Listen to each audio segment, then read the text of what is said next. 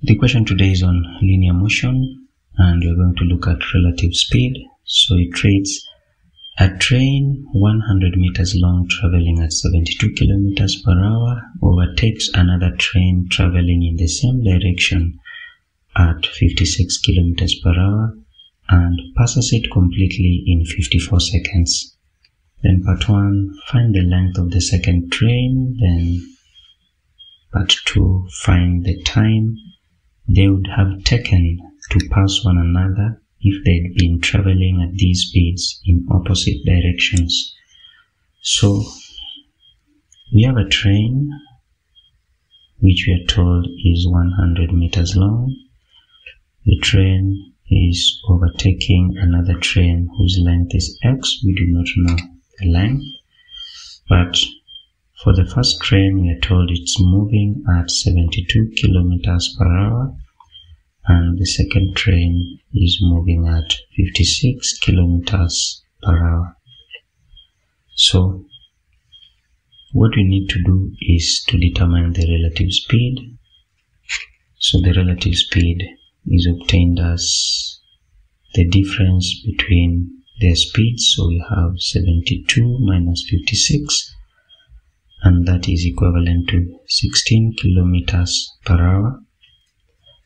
Now we will have to express this in meters per second because we have the length given in meters and time is also given in seconds so this will make work easier so this is obtained by simply multiplying 16 kilometers per hour by 5 over 18 so that converts it into meters per second and that is 4 and 4 over 9 meters per second. And we also need to know the distance covered during the overtaking. The distance will just be the sum of the lengths of the two trains, that is 100 plus x. And of course, the time is given as 54 seconds. So from here,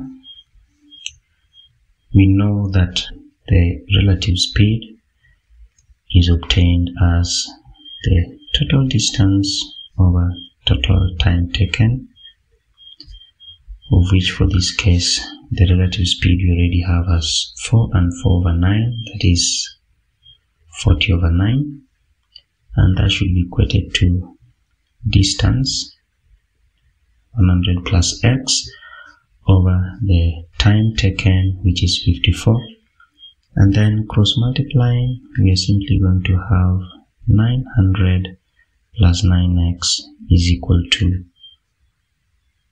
2160 900 going to the other side we have 9x is equal to 1260 dividing both sides by 9 we will have x being 140 meters and that is the length of the second train.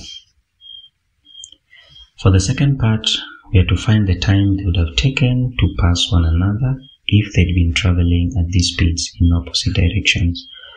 So, the first thing we need to know, let us express the speeds in meters per second, so the speed of the first train and the second train. So we have 72 kilometers per hour multiplied by 5 over 18 that should give us 20 meters per second. For the second train we have 56 kilometers per hour multiplied by 5 over 18 that should give us 15 and 5 over 9 meters per second. So with this we have the relative speed because the two trains are now approaching each other, moving in opposite directions, the relative speed is obtained by simply adding the respective speeds.